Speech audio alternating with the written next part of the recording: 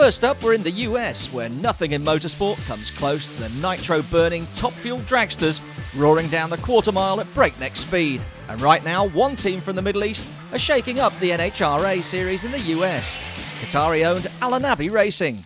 And following their first NHRA season in 2009, the team were looking for even better results this year. Obviously, we, were, we wanted to win the championship, but realistically, there was a lot of stuff that we had to develop and, and learn as a team, and I think we've we did a good job of that.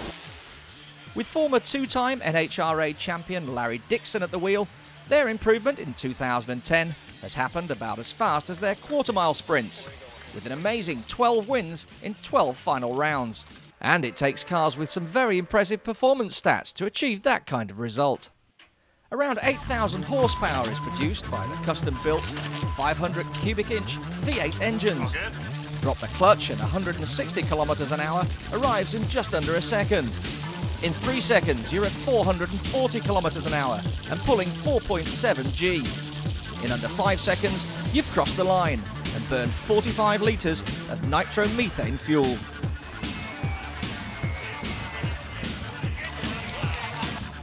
At just 23 years of age, the Royal Sheikh is determined to put Qatar and drag racing on motorsport's global map. And not just by promoting it on the wings of a top fuel dragster. I think the better we do, the more he is he is out there to show us off, you know, to the people of Qatar, and the people of the Middle East, and the, the people out there. So uh, I think he gets a lot of satisfaction out of it.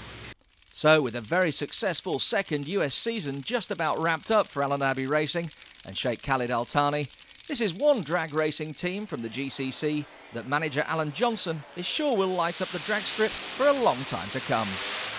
It all comes down to one thing it's, it's drag racing. He loves it, I love it, and uh, together we're going to win a lot of races.